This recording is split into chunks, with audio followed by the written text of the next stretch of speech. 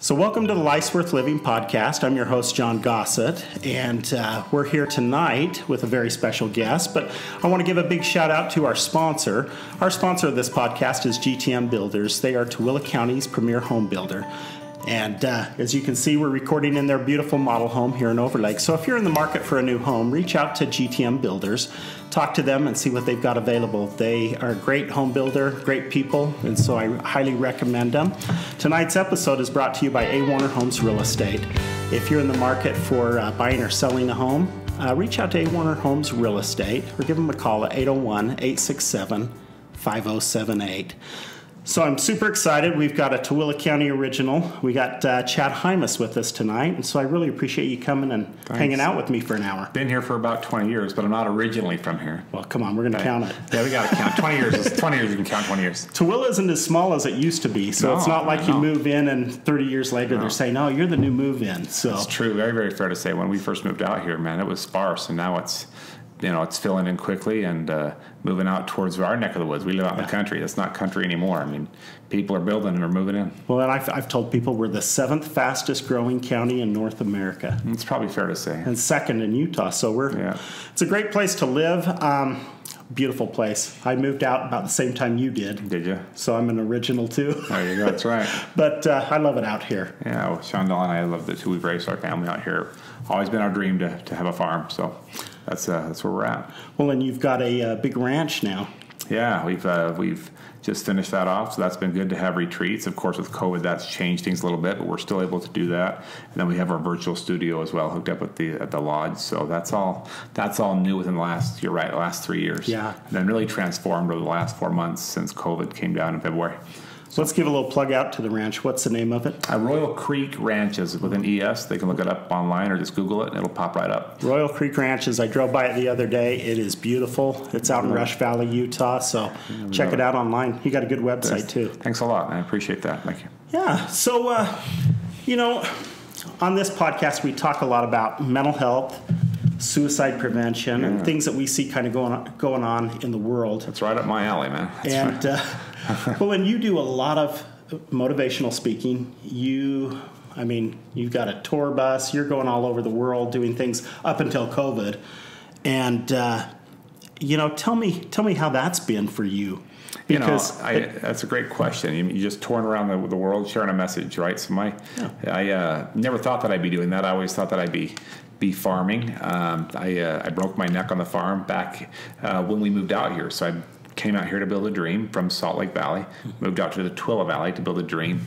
And uh, broke my neck six months into that process, and uh, became what you see today. So, what you see today, for uh, for those that aren't that are listening and not watching, um, I don't have uh, my hands are curled. Um, I don't have uh, very good strength in my arms. I lost most of my arms. I am numb from the armpits to the toes. So my two out of my three chest muscles are gone. The only chest muscle that I have is the diaphragm, which allows me to breathe without a trach or a battery. Um, I lost all my stomach muscles. The midsection is gone. My legs are gone and my feet are gone. All ten fingers are gone. You can you can see that, and so they're, they're curled. Yet I am able to still travel, um, and I travel. Uh, I travel alone. It took a long time to get to that point, but I, I say that not to brag, but but I take a lot of pride in in independent, uh, being independent. Um, I also take a lot of pride in uh, when I say independent. That doesn't mean that I do it by myself. That means that I that I I find friends, kind of like you helped me get in the house tonight. You know, uh, and there was another guy that came and helped out as well. It's amazing how things are always put in place for me to get from point A to point B because the truth is I can't walk up the steps to get into this model home. And the door to the bathroom, I just went to the bathroom right before we started. You and I both know that that is not a handicap accessible bathroom, which is fine. This is not supposed to be. I, I'm cool with that. But it didn't prevent me from getting into that bathroom. I had a gentleman that was willing to fix the hinges on the door and I got into that bathroom no problem and, and we were, we're good to go. That's happened to me for the last 20 years in 89 countries on all seven pieces of ground that God made. And that's the- amazing? it's unreal to me. So, so I went from farming animals and alfalfa to people and it's been, and when I say farming people, they, they've more or less farmed me. They've kind of helped mold me into this um, into the person that I am today. Not a perfect person by any means, but but molded my thought process, my mindset.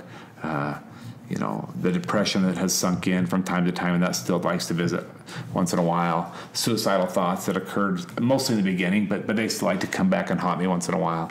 Uh, you know, I just know what to do when they when they happen, and so yeah, uh, yeah, we can talk about that tonight for sure. But but no, that's that's kind of the background is well, you going know, to I, farm. So I was when I made the phone call to your uh, your manager and talked to her, and I says, "Hey, uh, is it easier if I come to him, or or easier if he comes to me?" And she goes, "Oh, he's got this. Don't worry about it. He'll come to you." Uh-huh. And and and I I just think that says a lot about you because you've done some amazing things since the accident. I I remember watching you on the news, and you were riding a bike from. Did you start in Tooele County? Started at the Salt Lake Temple. Started at the Salt Lake Temple and downtown and rode to Vegas. To the Mirage in Vegas. Yeah, that was dumb. I don't know that we're going to talk about that tonight. I, would like to keep the, the, keep keep the podcast upbeat, but yeah, that was probably one of the more stupid things that I had uh, set out to do. But I do I did want to break that record. Um, there's a cool story, you know, behind that too. Um, nobody had ever done that prior to me and pushed that level uh, push that distance with my level of circumstance. And so, um, long story short, I trained here at the high school for 18 months, Tooele High School, indoors and out on the track with that bike just pushing left and right down the hallways. Kids would, you know, shout out hooray and, and, give me pats on the back and almost knock me out of my chair. I mean, they would duct tape weights. I mean, Coach Brady was there and he duct tape weights to my hands and my wrists, and, and the football players were great and just helped me get to help me get stronger. But but something about that marathon that, that very few people know about is um, when I pushed off, you know, when I pushed off from Temple Square at four in the morning on July 11th, 2003, there was probably four or five thousand people there to to send me off, and ABC, NBC, CBS, and Fox were all there with their cameras right in my grill, and it was it was it was a good feeling. I felt good, and I think a lot of people feel that way when we have accomplished something, or when when people around us, then they keep us upbeat, um, or when we're around people that are going through something similar as us. We always find when somebody has lost a spouse, they find a group that they can talk to, a network, right? When when when people want to build their business, they find a network where they can you know see how big the vision is and not be limited by their own mindset. We tend to network and, and socialize with people that that are like minded or that or, or that, that have a, a, a bigger vision or bigger mindset, and that's how I felt when I pushed off. People were there and they believed in me that I could do it, but day two, three, and four, those numbers decreased and there comes those lonely times. And there was a time that I was by myself out in Millard County, and I wondered if I would ever get through. In fact, symbolically and metaphorically, I did give up on the race. I mean, I, I did quit, just like some want to do with life. I mean, I I'm getting kind of right to the point tonight. Forgive me, John, but but a lot of people like to give up on life. And I just like I gave up on that race. I mean, just like Forrest Gump stopped running. Mm-hmm. He just said, "Okay, I think I'm done now." And Forrest stopped, stopped right there, just stopped. I, I, think I'll go home now. And he was running from the Atlantic to the Pacific and north and south to the borders. I mean, he, I love the movie Forrest Gump. It's very inspiring for me to watch. And then he just said, okay, I think I'm done now. And some people say that, okay, I think I'm done now. And I said that on day number eight. I was in Mesquite. There was 87 miles left to go, and I said to my dad, "I think I'm done now." My hands were bloodied. I uh, I was tired of being alone. My granted, I had people around me that loved me, but but but it just you know when you're out there pushing in that heat and there's nobody else around you, and my dad's on a motorcycle, and I just I'd, I'd also fallen, so I, I, was also physically not doing well. Um, I, even though I couldn't feel the pain, they had stitched up my back, and so I was on medication for that and, and uh, antibiotics. And I just told my dad, I said, I, I, I think that I think that we're I'm done. And he he came out and he he stopped his bike and he picked me up and he carried me into the motorhome there behind behind the wheelchair and set me in the seat of the motorhome and put a rag on my head and he said, "Son, I'll, I'll let you go home. If that's what you want, I'll let you go home. But before you give up on this thing called life, this race that you're in, this journey, let me ask you something." He said, "How?" He says, "How are you measuring your success?" And I said, "Well, what do you mean, Dad?" He said, "How?" How are you measuring your progress? You know, this this journey you're on. And I want people to think about this life journey that we're all on, how they're measuring their success, their progress. And I said to my father, I said, Well, Dad, I'm measuring my success by counting the green mile markers. You know, that's, that's what I'm. He said, I know, I've been watching you close. You are measuring your success by those mile markers, and they're a long ways apart. They're a mile apart. and they're coming slower and slower because you're slowing down a little bit, which is to be expected. Likewise, I think people measure their progress by comparison to other people, by how much money they make, whether their house looks as nice as the neighbors next to theirs, whether or not they, they dress as nice, or whether or not the mole on their face, or the cancer they have, or whatever they're going, the divorce that's now public that everybody knows about. People, people are measuring their success by others' perceptions, which is a killer. It's deadly, very deadly and I was measuring mine no different than them. I'll be judged no differently than those people there. People measure their success by, you know, some of the pain they've gone through, and they cover it up with a band aid. That could be illegal drugs, that could be something that's not prescribed, it could be something that is prescribed, and they over and abuse that. Um, I'm not judging that, I know exactly what that feels like. My dad says, Stop measuring your success by something that's so, so far out. He says, measure it incrementally, just by the little things you do every single day. I said, What do you mean? He said, I want you to go out and push again if you're willing. Chance number two. We all got nine lives. This we'll go to number two for you. We'll go to number two.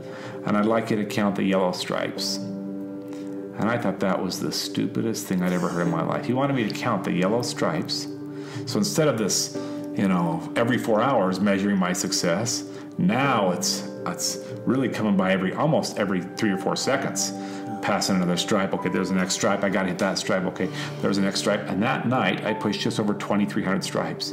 And day number nine i hit 6800 stripes. And the last day i hit 11000 stripes and we hit apex junction. For those that are listening that don't know where apex junction is it's 17 miles north of vegas and it's all downhill from there. So we waited until 9 o'clock am they shut down the strip for me. Helicopter in the air, 11 highway patrolmen on motorcycles, and I coasted my way to the Mirage. And remember what I said about that first day, all those people? Yeah. There were people running out because it was all over the TV channels and stuff inside the casinos at 10 o'clock in the morning or 10:30. Uh, granted, all of them were drunk, but I didn't care about that. Yeah. Drunk or not, I, I, didn't care. They were there. they you. were there for me. Right, yeah. they're my friends and they came out and they were cheering me on and raising their glasses and toasting and, and like, like they were part of it. And they were part of it. They were a huge part because they made me believe in again something that i didn't believe myself. And when i crossed that finish line i remember what my dad said was true when he said while the difficult takes time the impossible in life just takes a little bit longer incrementalism, measure the stripes, count the little things that uh, that you're doing every day to make your life worth live, living worthwhile. Your your your life worth living, which is the title of our podcast tonight. And uh, so I just I, I, find great power in that as I talk to people that are going through depression. I know exactly what that's like. Suicide. I know exactly what that feels like. There's two ends to that spectrum. There's pride, which is a killer. Too much pride is arrogance. Yeah. Too little pride is called depression. That's also a killer but right in the middle, right in the middle. And it's, it's, it's a hard place to stay at, but if we can find our balance somewhere in that middle line where we can have enough pride that's called confidence mm-hmm. and then not too much where we can be humble and grateful, that's where we want to be. That's the sweet that, spot. That's the, that's the sweet spot. Is the gratitude, the humility, yet still confident in yourself that you can that I can still be a husband, even though I can't hold her hand. Mm-hmm. Shondell and I can't make a child. Um, uh, I can't teach my boys how to do a layup in basketball, but both my boys played varsity ball for Tooele High School. So I was able to, mindset is everything, yeah. you know, adapt and change and look at the little things that I could do in order to make progress, see them make progress, and still be married to the same girl today. Just celebrated over 26 years, but for, you know, for only six of those years, I was able bodied. For over 20, I've been a quadriplegic. So I think that you know, I think that that says something about Shondell and about how we're able to make that work by the power of mindset and making our life worth living. And she's an amazing lady. She's too. incredible. I've never met her. Yeah, Shondell's incredible. But everybody that I've ever talked to and she's come up in the conversation, everybody just raves about yeah, what an amazing lady. She's very, very soft, very, very humble. She's one that when my when I after I get out down on a stage speaking in front of a bunch of people and call home and say, Shondell, it feels good to be able to help these people. She, remember your calling one person or 1,000, it really doesn't matter. God's not worried about statistics. She'll say that as exact words to me. God's not worried about statistics. He's not going to say how many. God is not gonna God's not gonna say how many times did you try and kill yourself. He's not gonna ask me that. He's gonna want to know, hey, after you did make that bad choice, did you did you try and do better? Mm-hmm. I will be asked that. Yeah. But God is not overwhelmed with math, Yeah. with stats, and that has stuck with me since day one with Shondell trying to coach me and help me out. And whether you're speaking to 20,000 or a, Or or, a handful, as long as it's the right one. you Yeah, know? yeah. And we do that in the suicide support groups. I mean, there's there's days where we'll get mid 30s that'll show up to the hospital for the support group. Yeah. And there's times when there's not that many, but it doesn't matter as doesn't- long it as it's the matter. person that needs it. Right. And that's that's something to remember. Yeah. And your dad sounds like an amazing guy too. Can you imagine the courage? Um, you know, I've got four children. Two of them are adopted. They were adopted after the accident. So there's a gap because we had the two boys prior. Yeah. And then my wife had this vision that our family wasn't complete yet. So we adopted from Guatemala and from Ethiopia. Yeah. Um, so, so I can't imagine having one of my kids have an accident and losing all four limbs. I'm just saying, I you you have children. Yeah. You'd you'd take their place in a heartbeat. Oh yeah, for sure. I cannot believe the courage and the guts and the wherewithal that my dad had to come into that that that that you know intensive care unit, the ICU at University of Utah Hospital, and give me the news, and then give me a call to action to be a better husband, farmer, father, coach, and disciple. He gave me that action. I thought it was a joke, and when he when he heard my my mumblings, my, my rumblings out of my trach, and, and how I was disgruntled with what he was trying to say because I felt like he had no credibility whatsoever to understand my position. He just turned around and walked out of the room. And I later found out why. He, he wasn't walking away because I was swearing, although I was swearing. Mm-hmm. He wasn't walking away because he didn't love me. That's not why he was leaving. He was walking away because I was being a horse that wouldn't drink. Mm-hmm. We say that on the ranch all the time. You can lead the horse to the trough, Can't make a drink. can't make a drink. My dad came back just like most dads would and said, Are you going to drink from the trough? Or are you just going to sit there in that wheelchair like everybody else does? And that was the beginning of, of, of what was to come. He did not want me to be like everybody else, and I certainly don't want people listening here to be like everybody else. God made them to be who they are, exactly who they are, so take pride in being that individual. I am 95% numb, and I should love this body because it's, it's a gift, and a gift that I won't have, you know, all the time, but one day I believe it'll be renewed to its full strength. I'm not going to sit around and wait for that to happen. My dad didn't want me to sit in a chair like everybody else. So I think that that takes a lot of guts. It does. It does. And that's, I can't even imagine having to deliver the news to anybody, oh, let alone your boy. Yeah. And so, I what, agree. A, what an amazing guy.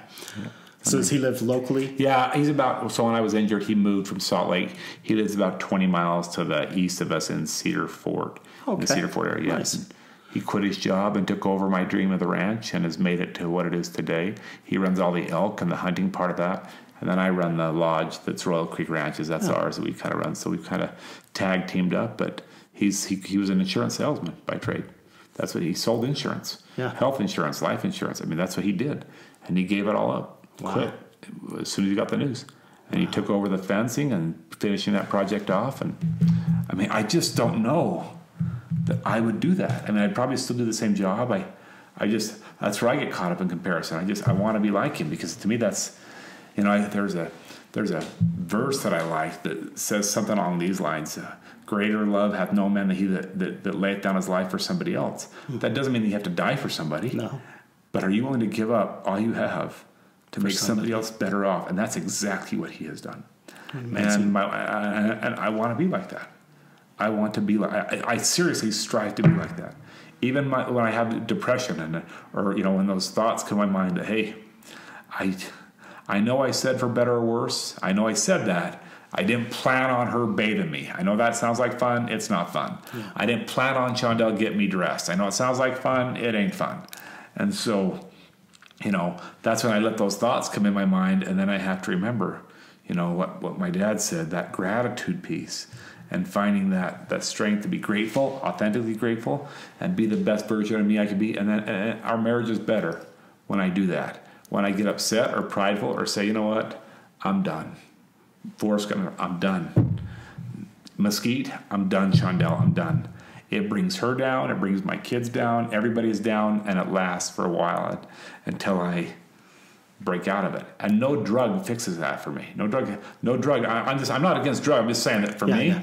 no drug has been a permanent fix. It's right here in my head, and I have to figure that out. And I'm gonna. It'll take me a lifetime to do it, but I'm getting better every day. It's been 20 years. So what, what's the best trick? I shouldn't say trick, but what's the best what's, thing? What's that, the best? What's the best medicine? Yeah, yeah. What I'm doing now. It's people. Yeah. When I'm here with you, I don't have time to worry about what I've lost. Yeah. When I'm out traveling in a hotel, uh, when I'm out traveling on an airplane, you know, my my my biggest struggle has been COVID. Yeah. Because I've been stuck at home, but thank goodness I got a wife that gets me out. I've been we've gone for walks and strolls and bike rides and horses and when I'm around people. So my drug of choice. That's why we decided to come here tonight. It's just Leslie knows I need. To, I want to get out. I want to go. Have that connection. Absolutely. That's my wife has allowed me to be on the road for the last 19 years, 27 days out of every month. Wow. Except for basketball season uh-huh. when the boys are playing. Then I'm home Tuesdays and Friday nights because I don't miss a game. But then I'll fly out. I don't care. The jet's waiting for me. We'll leave. The helicopter's waiting at the high school. I will leave. Um, because I've got clients I'm getting to. My wife understands that's my. She's that. I'm not saying that I'm right in that. I'm just saying mm-hmm. that that has been my medicine of choice with COVID. Yeah, it's it's, it's taught me a whole new ballgame. I, I've had to learn, and I'm learning how to be grateful all over again consistently because I'm home every morning now. I'm not in a hotel room. Shondell doesn't want me to do it by myself. It takes too long. And she wants me to come hang out with the kids and have breakfast. That's a whole new, I mean, I know we've been married for 25, 26 years, but as stupid as this sounds, that's a whole new reality for me. Yeah. This, these last three months. The last month has been, last month and a half has been pretty good. The first two and a half of COVID, oh my gosh. You want to talk about depressed and suicide. I mean, I, those thoughts started surging again from clear back from 20 years ago. They don't leave permanently. And so, you know, I'm not immune from it. But I find my medicine in people and being with people and socializing with people, even virtually. FaceTime. Through Zoom. Zoom. Yeah. You know, uh, Team, Microsoft Teams. I mean, we, have got all the studios lined up. So I just, I like to stay busy. Yeah. I like to stay busy. Take I don't want to be focus knocked off. Absolutely on myself. Get the focus off myself. Get my focus on how can I. So instead of focusing on what I've lost, how can I best serve John? How can I best serve my kids? How can I best serve Shondell? How can I best go find someone that's in need? It doesn't mean I have to go pull weeds or mow lawns. I can't even do that. Yeah. But how can I find someone to serve? Make a phone call, send off a text that lets somebody know that they have value in my life. Now we're talking about how I feel my days. That's how I feel my days. That's awesome. You know, right before I came here, I, I lived two doors away from my mother. She's 85. Okay. And she'd been kind of quiet this week. And so I, I uh, ran over there just take a few minutes and check in on her. And, and she told me how down she's been with COVID. You know, kids aren't visiting, house is empty. She's she alone. Lives, she lives alone. She's, she's a, alone. She's yeah. a widow. And, and uh, the last five years have been hard not having dad there. But you add all of this onto it where you know she can't even really leave the house yeah. for fear that she's going to get sick or and and you know they they're having that worldwide right now but in your business it's basically unemployment, you know, because you can't get out and do the speaking engagements. Which We've transformed that. I mean, it's virtual, so build yeah, yeah. a studio. But you're right. I mean, it's changed completely. The hospitality industry is empty. Yeah. Hotels are empty. There's nobody meeting in ballrooms. People aren't gathering together. That's there's no airplanes. I mean, they're parked, right? Mm-hmm. So so it's it's completely transformed, which takes us to the principle of adaptation. Yeah. Right. Those that refuse to adapt to change, which is an ever so ongoing occurrence in our lives those that refuse it will experience a great deal of pain in their life. Yeah. When I refuse to change with a changing pandemic, mm-hmm. a crisis, uh, paralysis, mm-hmm. you know, being at home more, when I refuse to be more grateful or find the positives in that, I will go through more pain. Yeah. It's just a law, just the way it a, works. governing law. It's the way it works. It's a just like the law of gravity. Yeah. It's a governing law. But when I'm willing to adapt and maybe say, you know, I could, I'll try that. I'll try and be more grateful. I'll try and say thank you a little bit more often and be real about it, not fake. Yeah. I'll try and, you know, maybe I'll try and, and, and you know, let you help me get dressed more. I, am sorry. I mean, I'll try and have breakfast with the kids. I, I don't really kind of like to have breakfast by myself. You know, I'm used to room service at the yeah. hotel, but yeah, I'll, I'll, I'll, try going and do some devotional in the morning. I'll, I'll try that. more has come to me in that process. Because you just never know what's there if you don't try. Yeah, for sure. You know, and, and it gave me a thought that, uh, you know, your deal with going all the way to Vegas on a bike.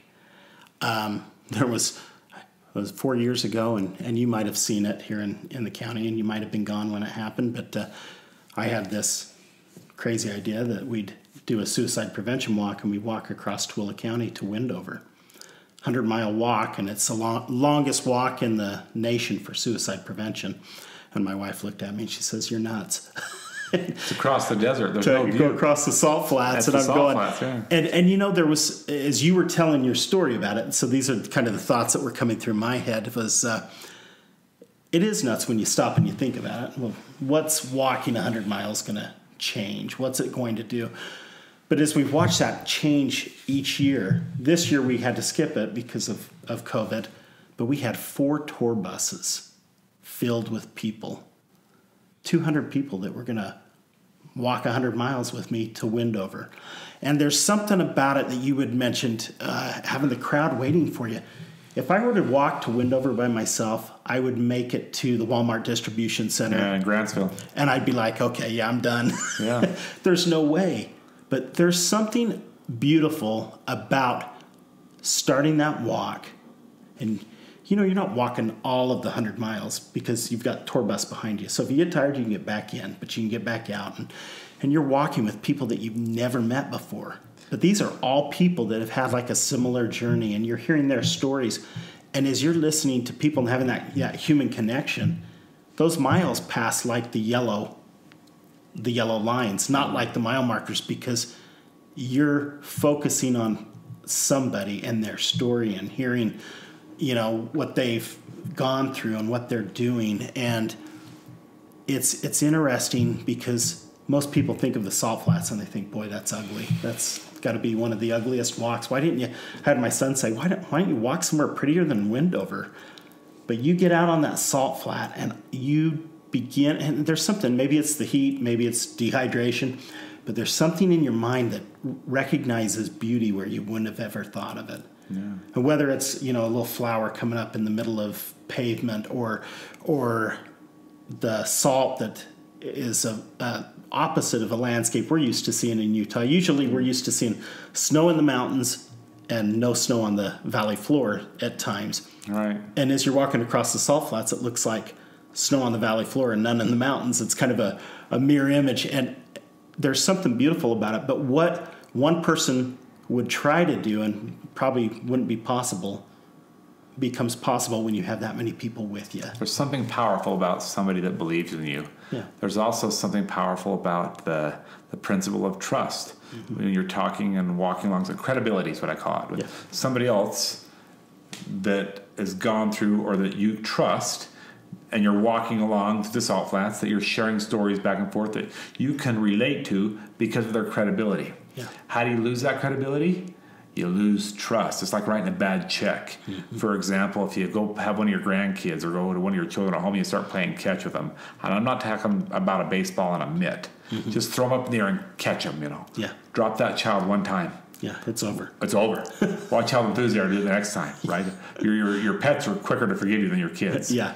So what I what I am what I'm saying here as I listen to you talk is when you when you have that opportunity to be by somebody's side and to be a mentor or to instill, uh, come from a place of credibility. You don't have to fake it. Don't have to lie. You don't have to create some story. Come from a place of honesty, and once you've earned that trust, do all you can to maintain it.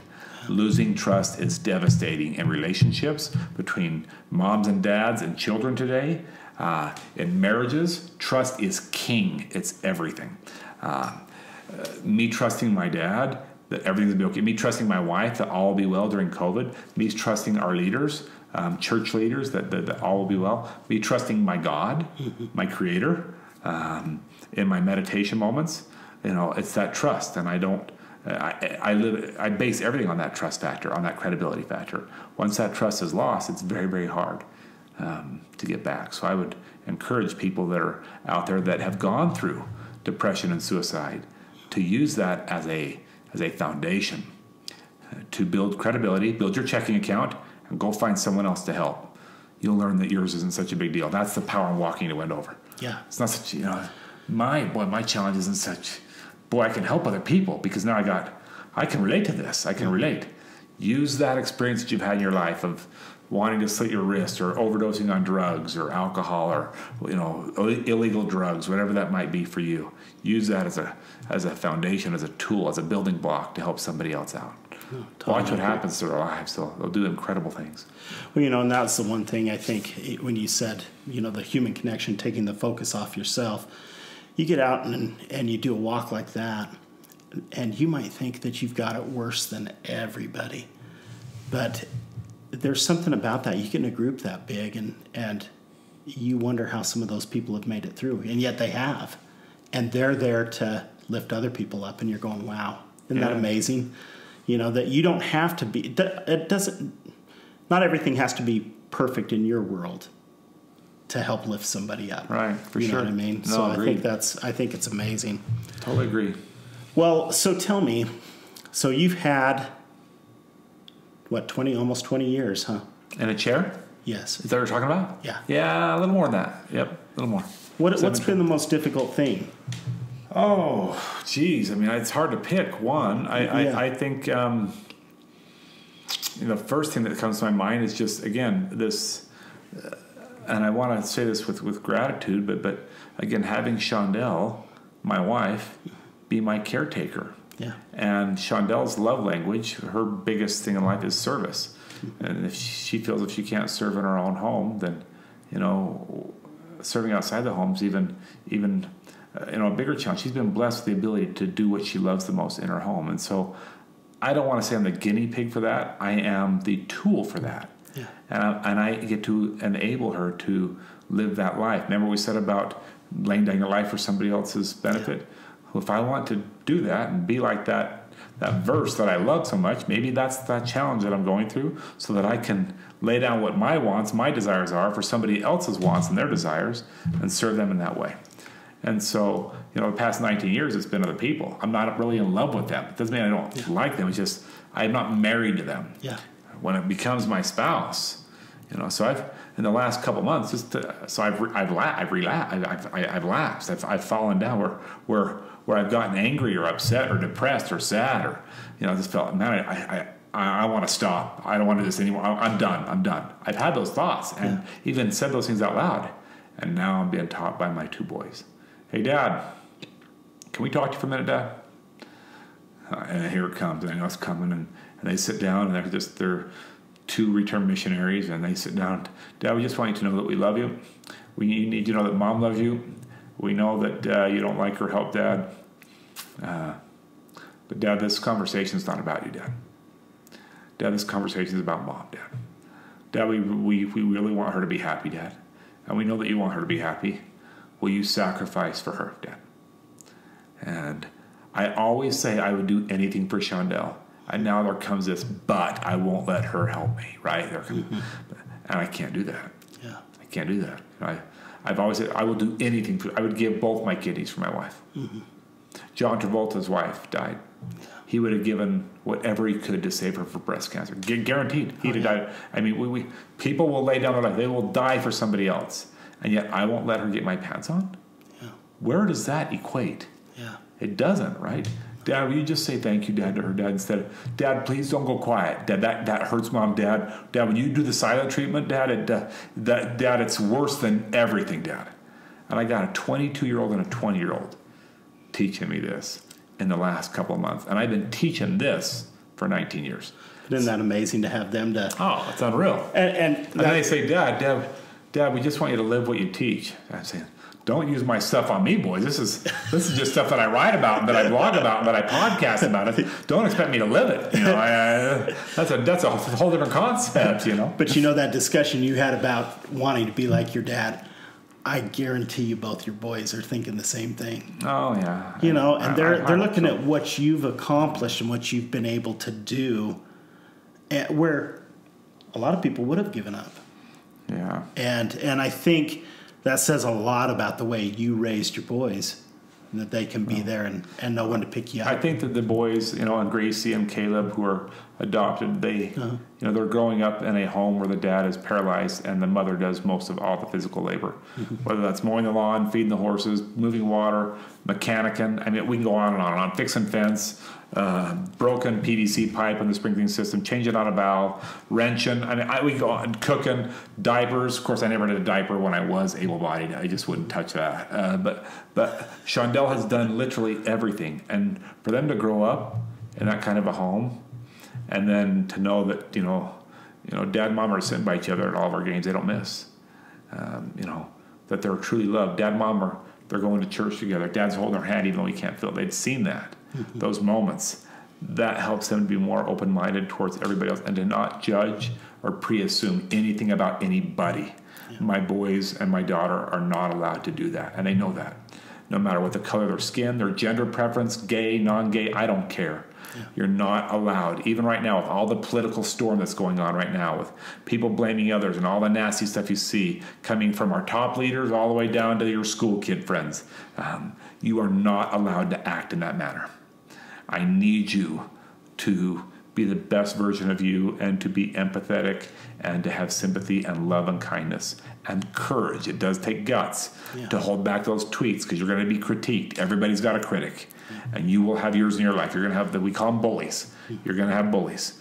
Are you going to have the capacity to stay quiet in those moments? There are times when you stand up for yourself. There are times when you when you let it pass. You let it go. Yeah. So. Well, this year, 2020, I get I think has kind of thrown us about everything that it could. Yeah, uh, this is a great time to restart. I mean, we're yeah. talking. This is the middle of July. This is the mid midpoint of the year. It's a great rebirth with beautiful summer. Things this is when things are growing, or the desert they don't. But but what a you know what a what a it is a rough time to be to be on the earth when, when things aren't as we have ever had in the past. They're not normal. But don't ask yourself what the new normal is or wait for it to come back. I would just say, what, what's the new next? Yeah. What's going to be the new next? And then just jump at, jump in for it. And you know, I look back and I think I, I had grandparents that grew up in the Great Recession or the uh, Great Depression. Great Depression, and uh, you know, you look at them and they'd tell you stories, and you'd be like, "Wow, how did you get through it? You know, how did I can't believe you had to live through that? You know, and they were stronger and better people for coming out of that. You know, living through it and experiencing it and 2020's might be a little bit different, but it still gives that same opportunity that you know someday we'll be telling this story to somebody else, and they're going to be going, "Wow," you know, and sure. and I think it's going to shape all of us worldwide. Yeah, we're, and we will. We'll come out better for it. We will, um, for sure. I believe all of humanity will do that. Um, I think right now we're um, we are we are being taught some two principles that we need to be taught. And um, again, I don't think that God necessarily curses individuals or causes people to die for any certain reason. Um, I, I, don't know the answer to everything, but I do believe that as an entire world, uh, humanity, that we are we're having a gut check right now on what some of the most important things are. We we're losing more people to hunger than we are to the disease itself yeah. because of the disease, and we are told to help the poor not to not to not to kill them off by taking from the poor. And you see it all over our county, as great as Tooele is. You see all over our state. You see it all over the United States and all over the country as I've traveled, where we have just feasted upon those that are less fortunate. And again, I'm not saying that we need to go and solve all the world hunger, but just one small act of kindness can really change the entire world. Yeah. And uh, I would challenge our listeners to find what that one small act of kindness is. I don't care if it's baking a cake. I don't care if it's the text saying to your children, hey, this is dad. I know I don't text very often. Sorry. I just wanted you to know that I'm sure proud of the young man or young woman you've become. You need to know that. And the next time that child is faced with fear, rejection, uncertainty, or doubt, the ammunition they used to fight that back with is dad's text. Yep. They know that dad's looking up to them. I, uh, that's one thing I can say I had done. You know, I, I've messed up a lot and I've, and I failed a lot. I, I believe that those that fail faster is the key to success. And it's not those that fail, those are failures, but those that fail faster. And I've done a lot of failing. The one thing that I think I've done right is to let my kids know the value they have, which gives them the confidence that they need to get a degree in college, to start their own business, to to be able to get through an argument or a spat with, with their spouse, like my oldest son's married, and do it without having to call on moms or dads and to you know, work it out together as a team between your spouse rather than, you know, rather than, than, than call and blame and judge and, and you know, figure, figure it out, figure out how to work it through it. 100%. So, so talking about suicide prevention, and we've seen an uptick in whether it be domestic violence and, and, uh, overdose deaths. We've seen uh, things just kind of spike with the COVID. Um, even prior to that, though, over the last decade or so, we've just seen this increase, and and we have more people that are giving up. Than, They're stopping than ever before. Yeah. That are just stopping. And what do you think? What do you think the cause? I mean, what what do you think's I don't think changed? Any, no. Well, one thing that's changed for sure is is is this this social media and we see what other people are dressed like, what they look like, and we are, or people get addicted to pornography, so they have this expectation. So let's just start. Let's let's let's come to pornography in a second. But let's just so with social media, people have access to anything, anytime, any uh, uh, just a click of a button, right? The swipe. Um, you, can you believe this? You can even pick and choose the right person for you to marry. All you need is an app and and you can pick and choose the color and the their height and the size, and you think that's the right one. Mm-hmm. I wrote a blog about this two weeks ago. You know, when I was in high school, I wrote a paper about the woman I wanted to marry. There was three criteria. The first one was that I wanted my wife to have the body of Cindy Crawford. That was my first. I, was, I wrote that. I'm embarrassed today, but no, I'm just being honest, right? Being, we're being very, very truthful. We're about the same age, yeah, so I think we all have that same. I wanted my wife to have the body of Cindy Crawford. Uh-huh. Number two, I wanted her to be respected by my family who held high values. My mother's Catholic, my dad is LDS, mm-hmm. and so I grew up in a very high standardized home as far as as far as values were, were concerned. Number three, I would like to have my wife, and I wrote this in my paper, to be approved by the mother of Jesus, Mary. That was the what's what, what I wrote.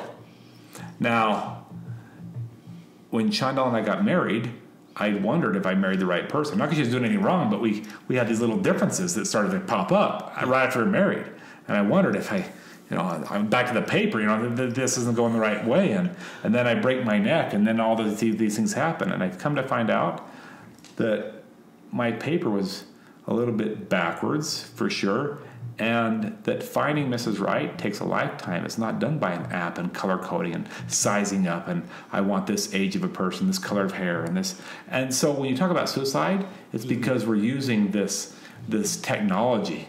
Mm-hmm. Whether it's comparison, sizing people up, and looking for perfection, comparing myself to somebody else that is maybe stronger than me, or you know, I've even found myself in my chair, and I've got a child now that's married that's going to have grandchildren, comparing myself to the other grandparents and what I'm not going to be able to provide. You know, those other grandparents are going to be able to show them wrong. Nothing is, they're great people, don't get me wrong, but, but, but in my mind, I'm thinking, yeah. I can't teach them how to rope. Yeah. And as soon as I share that out loud with my wife, then she says, There you go. You know what's right, though. You, you know, we've, we've talked about it. I, I know. I, sweetheart, she says, you just need to be yourself. Your kids are going to love your lap just like they're going to love roping with their other grandpas. You don't need to just be yourself, be the best version of you. I get caught up in it even today, mm-hmm. and I've been teaching this for years. Yeah. I've been talking about it for years.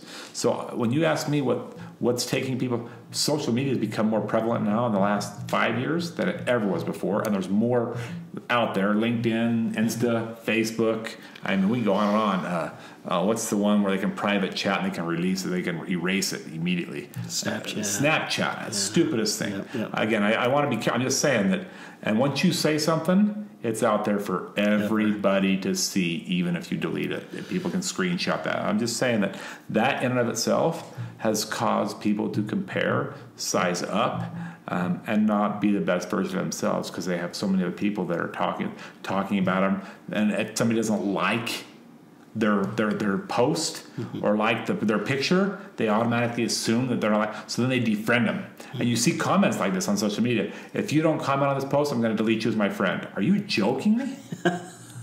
if you don't comment on my post today, you're going to be deleted as my friend. think about the harshness, yeah. the stubbornness, the hard heartedness, the stiff neckedness that comes from that kind of a that kind of a mentality right there. It kind of gives you unrealistic expectations. They're totally unrealistic. And right. uh, and you raise that to pornography, uh-huh. you start getting caught up in that. Unrealistic unrealistic expectations, expectations mm-hmm. of what should happen between a man and a wife, yep. and not the way that God intended it. And and listen, I love talking about this because I've had that taken away from me. I'm not saying that, that God took it. I'm just saying that, sure. that, that, that, I can no longer yeah. have that kind of relationship the way that I used to with my wife. Yeah. What's the message? Well, now you know why I hold it sacred. I talk about it a lot.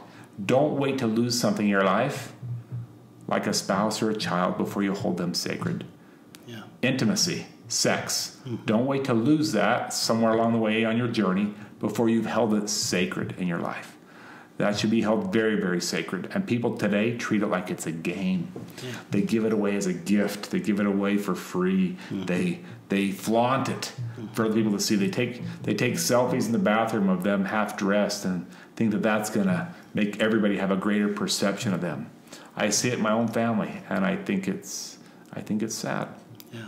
Because if they don't get somebody else commenting on it, or if they, or maybe they don't even care, but just the fact they're posting that tells you that they have to do that in order to bolster themselves. Yeah. And nobody should have to do that. You know, and I, I was talking about social media. When we were kids, when we were kids, you might compare yourself in your neighborhood. Or to the basketball star. Or, yeah, you or know. the football king, right? Or. But I'd look at that and I'd say, okay, well, I grew up in a neighborhood and we were all pretty much same financial situation. You know, we're all living in houses that are fairly similar or equal, you know, and yeah.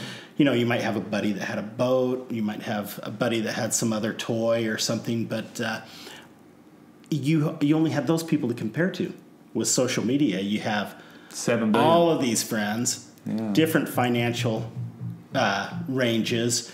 And you might be sitting around going, "Gosh, our last family trip was to Lagoon, and everybody else is going to Disney World." And mm. And so you're now comparing. Or they're comparing even clothing. Yeah. They're comparing. They're comparing. Uh, uh, they're comparing others that they've never met that are the same age, mm-hmm. and how pretty her eyes are, how long her hair is, and you know, you just.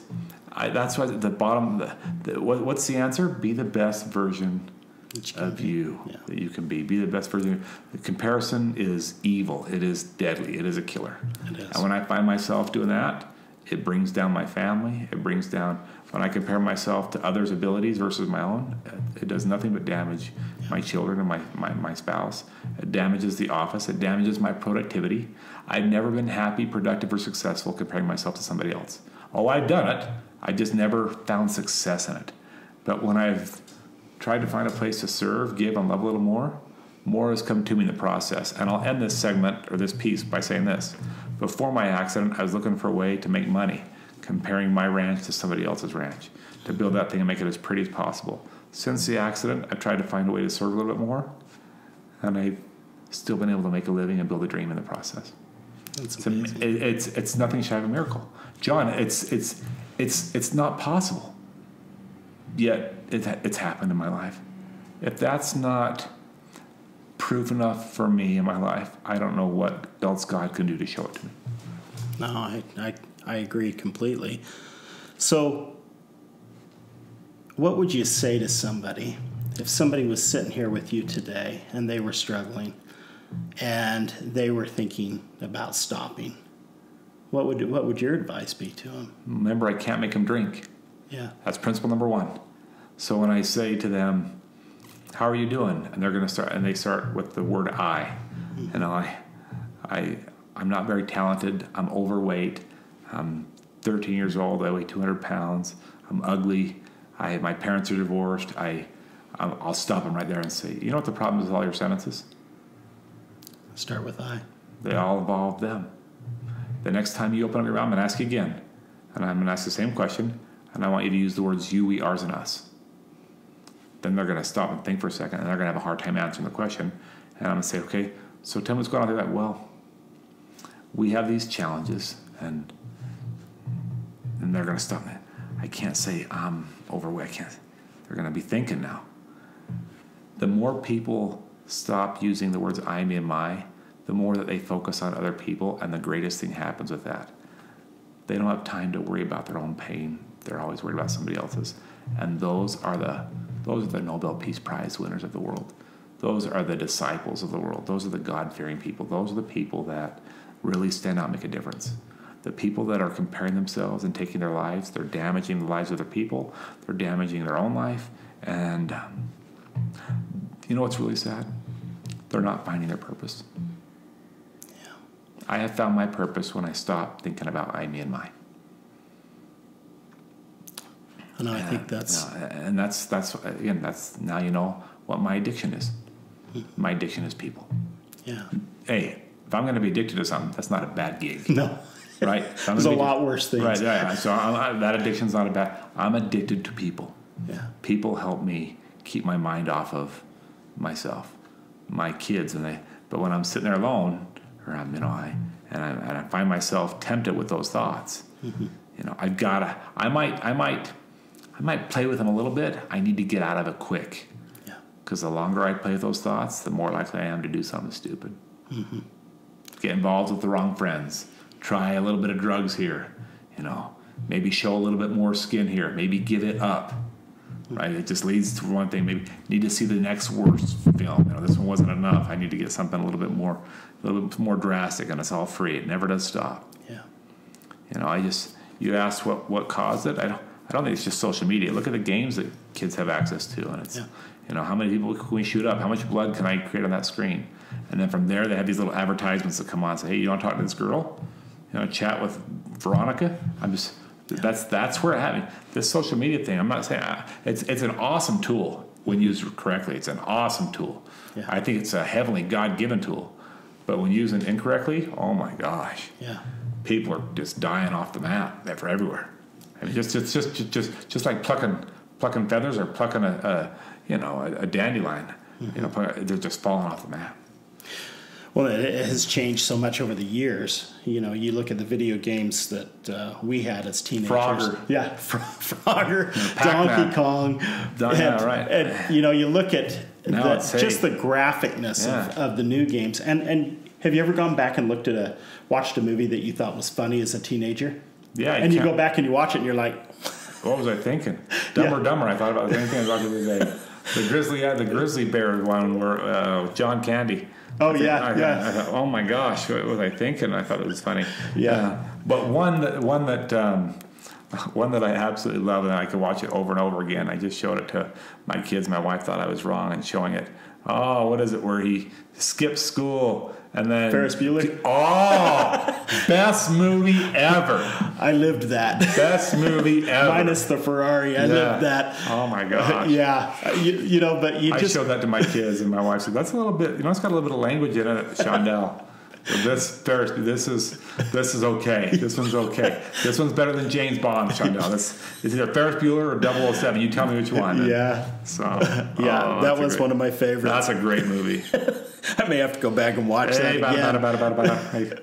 Oh, I can just watch it. Yeah. Bueller. Yeah. Oh, I just Yeah. yeah. No, no, and he's and he's depressed.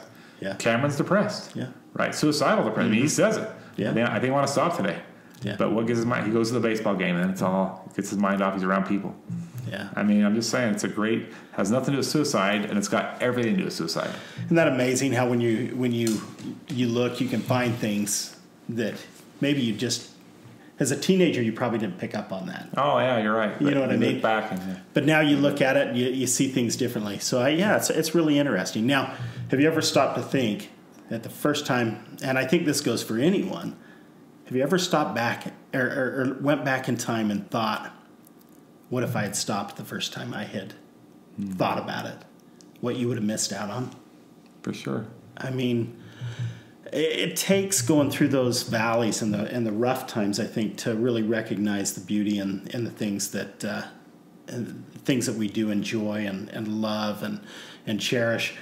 But without those the rough times, you never value those good times. John, two things with that that you just said. The first thing is no one's ever climbed going downhill. The second thing is the fruit of everything good comes from that of change. Yeah, The fruit of everything good that happens comes from that of going through adversity, of change. So instead of today when I have a you know my like right now my legs bouncing, I don't like it, but I can either squawk about it on the podcast mm-hmm. or adapt and maybe move my leg out, which is what I've been doing today. Mm-hmm. Um, when I, when you're willing to look at things from a different mindset, but look at it differently, again, more comes to you in that process. So remember, no one's ever climbed going downhill, and the fruit of all good comes from that those adverse moments, the challenges that we face. They they refine us, they mold us into who we become. They give us credibility in our checking account. They they add money, if you will, to that account and gives it gives us greater credibility to raise our kids better, to be better grandparents ourselves, to be better mentors, to be to be better influencers to the people that we go to school with, to people we work with, to the people that we associate with in our churches and our synagogues. Yeah, that's amazing. So tell me one, you know, to kind of wrap up tonight, tell me one story. If you had to tell, and it doesn't have to be about yourself, but something you've experienced, uh, what's the most inspiring story you've heard that kind of, it's one of those, those feel good stories that just makes you realize, you know what, I'm going to do this? Boy there's so many. I, I, think of America's Got Talent and the people that come on there that you know, we're so depressed and suicidal, and they find their voice because an audience appreciates the voice they have, or the blind guy that comes out and sings and plays the piano, and he's never had that opportunity. People actually appreciate and and give credibility to his ability to play the piano. I think of inspirational things that I've seen on America's Got Talent or Britain's Got Talent. I uh, I think of the tears that people shed when they see the that they believe in them when they haven't believed in themselves. So I think about some of those stories. Um, one that might be personal to me is is um, boy, uh, there was there was one today. Um, in fact, um, it, it, involves COVID nineteen, and you see how many people are bickering back and forth about mask and no mask. And if you think I'm going to make my kid wear a mask to school, you're, you're you're wrong. I won't send my kids to school, and and I don't know what's right or wrong. I really don't care. All I'm going to say is this it got personal for me today because a dear friend of mine who has a son that is 18 years old. Um, she wrote a post. I, th- I think it's phenomenal. I should share it with the group. Oh, that'd be awesome. I, no, no, it's it's inspirational. So would you help me? Yeah. Well, we got, so just come over and grab my phone. Okay. And, and I'll show it to you. It's unreal. Her name is Carrie Lorenz, and she has so so this is what she wrote and I thought it was spot on. I got it. You got it? Yeah, I'll pull it up right now. So it's right here, and I, and I even I even wrote about it as well. But this is what she wrote. So so again, remember, right now we're going through this thing called COVID, and everybody has their own opinions, and the news has got their opinions, and CNN's got their opinion, and who's to blame, and Fox 13's got their opinion, and you got people on each side of the fence, right? People blaming everybody, and and it's very very confusing. Carrie writes this.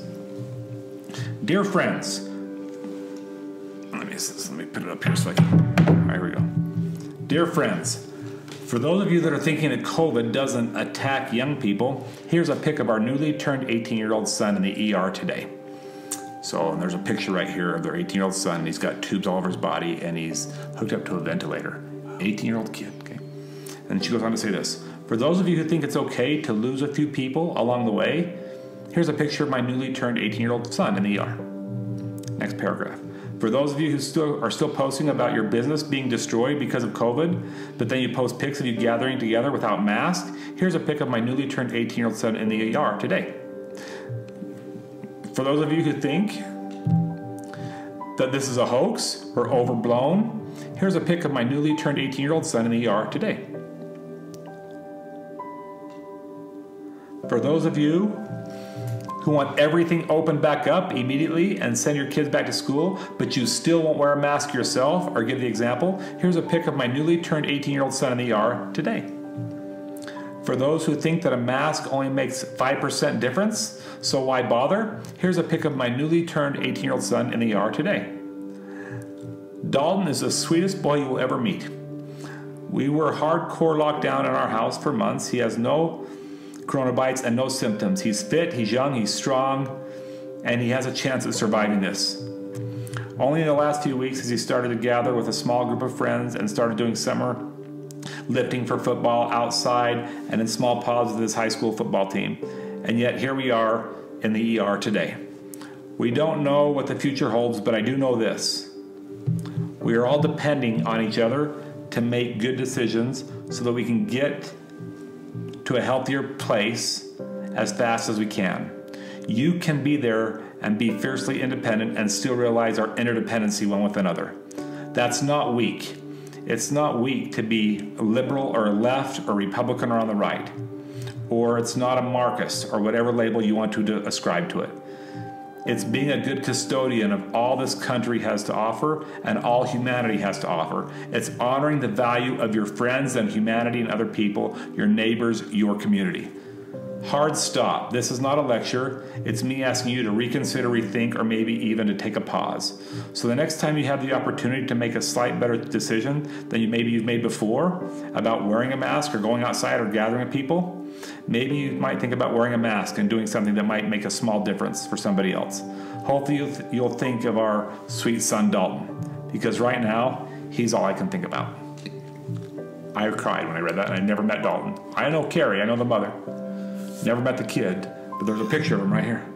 And he's, he's all tubed up. I mean, you can see that. I mean, look at that. Yeah. He's all tubed up, 18 year old kid. Wow. And I'm just saying, I, I, I don't know whose fault it is. I really don't care. Yeah. But for me, I know now I need to wear a mask when I'm when I go to church. I mean, you and I talked about that when we came in here, distancing, Yeah. masked up, and what are we're going to do to maintain our distance. And, Yeah. and uh, out of respect for you, you know, and out of respect for it's not about me and what I think I should do with my kids in my school. I, I, it's about everybody else. Yeah. Remember that it's that I equation. We keep thinking I, me, and my, and boy, it's throwing us for a whirl. It's confusing everybody, and it's making us blame and point fingers. I thought that was so eloquently written That is. and so well Makes done. you So- stop and think. Oh my gosh! Makes you stop and think. Well, And if we would do that, and if we would do that as a country, if everybody would take that initiative, there'd be no problem opening up restaurants and you know bowling alleys and ballparks, and you know, it'd be different for sure. Well, it's not the same right now, but at least we'd be out there at restaurants. Now they're reclosing them for a second, third time in some places. yeah. You know, they had two or three waves. We have this, we have the, uh, you know, and I always thought it was me. I've got the attention span of a gnat. So, you know, you start with COVID and, and you get worn down so quickly that it's like, okay, I'm done. I'm ready. Yeah, I'm ready to get back. But then, yeah, you, you see a story like that and it really, I know It hits home. it, it resets you. Here's the thing, though. Remember, don't wait to lose something before you hold it sacred. Yeah. This ought to be enough right here to all of our listeners, and to share something like this with other people to, to bring awareness and bring. Again, I, I'm not saying who's wrong or who's right. I, I don't know the answer to that, but I do know that we all are independent, interdependent with each other, and that we all have a responsibility to take. And if just one person chooses to not abide by it, who does that affect? And that's not fair. No different than when I broke my neck. If just one person chose to not help lift that bale of hay off my body, who would have had to carry the rest of the weight? The other seven. There was eight men there. If just one said, you know, I think I'm going to give up now. It's too heavy. It's too hard. You guys got this. The other seven have to carry that burden. No different than COVID. Just one person chooses to be abrupt, ignorant, arrogant. It affects everybody, uh, and it, and it just spreads like wildfire. It just just spreads. And it goes back to that whole be the best version of yourself. Right. Well, I, I seriously, I can't thank you enough for hanging out with me for an hour tonight. Been fun. Thanks a I, lot. I really do appreciate it. I hope you know that. And- Thanks for having me. And uh, Carrie, our prayers are with your family. Um, that's a tough deal. Yeah. Tough 18 years old. Can you imagine? Yeah, 18 years for old. sure. And uh, you know, for those of you that have come back for another week, super super grateful that you guys are are willing to hang out with us once a week and do an hour with us. I know there's a lot of you that uh, you know this is being heard in 13 countries. Um, I can't believe that that it's gone that. I we started it. We were thinking, okay, Utah here up in northern Utah, 13 countries, and I know there's people that may not know your whole backstory. Check him out, Chad Hymas. You're on. You've got a YouTube channel. Yes. How else do people find Just you? Just my name. Just if you just Google, it, you can Google and there's it's there's a bunch of free videos, a whole bunch. There's the the best. Uh, the, the book is free. Uh, you just Google C H A D Chad Hymas H Y M A S. Um, we're on Instagram, LinkedIn, Facebook, and uh, we try and post positive and, and uplifting videos and, and do do quite a bit of try and do do positive uh, affirmations every day. Yeah. So a lot of good information out there. And we're going to get out of this, and you're going to get back to normal life, and and so yeah, check him out. I mean, I'm, I'm sure you're taking bookings a ways out. Oh, us? Oh, yeah. we're, we're booked every day doing virtual stuff, and then I'm supposed to do my first live event in three weeks. I don't know if that's going to happen or not, but we'll find out. So keep our fingers crossed. Yeah. But yeah, if you're interested in but having, the ranch is open, right? So we, we were having weddings and having leadership retreats out there where I'm doing conducting that with 20 to 40 people at a time, and the lodge is big enough to handle that and kill, still maintain our distancing with masks and things like that. Nice. So yeah, so we're, we're, we're, moving forward. And it's it's a beautiful spot, and that's Royal Creek Ranches. So check that out. Also, I think you've got a Facebook page, you've got yeah, the website. website. That's our dream. That's that's Shondell and I's dream right there. And so you know, and and taking it back local in Tooele County, there are so many people that say, "Gosh, there's just nowhere out here to hold a wedding." Huh they got a great place to hold a mm-hmm. wedding, and what a beautiful secluded spot, and and uh, you know, check it out because they've got a great venue. There's pictures on there, I think, that show weddings being held. Yeah, we've had a bunch. We just had one last weekend. So check it out, Royal Creek Ranches, and uh, Google Chad Hymas. And if you're interested as a company, a corporation, having him come speak, or or maybe even coming out to his retreat check it out and get in touch with him. Um, Chad, we're, we're lucky to have you here in Thanks town. for having me. I enjoyed tonight. And uh, as far as I'm concerned, you're local, a lifer out here. I'll so. take it. I'll take it. so I appreciate it. And if you're listening to this podcast and you're struggling and you're you're hitting a point where you're having thoughts that scare you, and you're maybe hitting that Forrest Gump moment where you're thinking about being done, reach out and talk to somebody, have that connection with somebody you trust. If you don't have that person in your life that you can trust, reach out to the Lifeline. Call 1 800 273 8255. They are there 24 7, 365 days a year, and they will be there for you. So reach out to the Lifeline. Again, I want to give a big shout out to GTM Builders for allowing us to record in their beautiful model home. If you're in the market for building a new home, that's something you want to uh, give a little bit of thought to, stop by one of their model homes here in the county or reach out to them at gtmbuilders.com. Tonight's episode has been brought to you by A. Warner Homes Real Estate. So interest rates are low. If you're thinking about buying or selling, reach out to A. Warner Homes or give them a call at 801 867 5078. Thanks a lot for being here. I don't know what brought you here, but I'm so grateful that you were here. Take care. We'll see you next week. Thanks.